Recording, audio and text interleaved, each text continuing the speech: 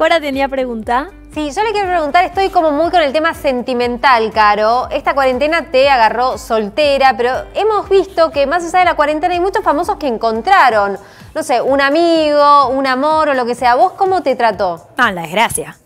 Ah, gracias. En la desgracia. Tampoco un ex, Pero por, por, ejemplo. Instagram no te escriben un montón de hombres. Mira, Instagram lo único que tengo son pedidos de auxilio para rescatar perros.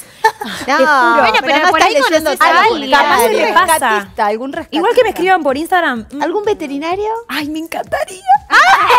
Claro, veterinario. Atención, veterinario. ¿Cómo no va a haber un veterinario soltero para esta diosa? No, sería espectacular. O sea, Perfecto. el dúo, los dos yendo de la mano a rescatar animales sería tipo increíble.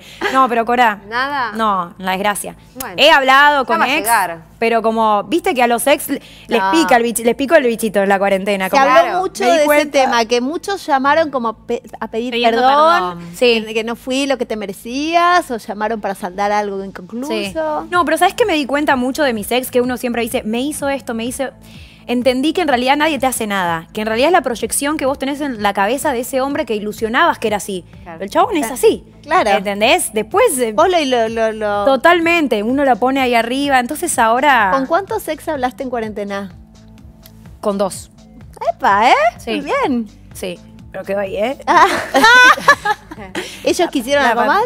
Eh, no, a ver, la típica, tipo, la sequía, ¿viste? Claro. Como- ¿Qué pasó? Pero no, pandemia, chicos, no se puede. Ahí No está, se puede, estuvo cuidando mucho. Sí. Le vamos a creer, le vamos a creer. Momento de pregunta acá.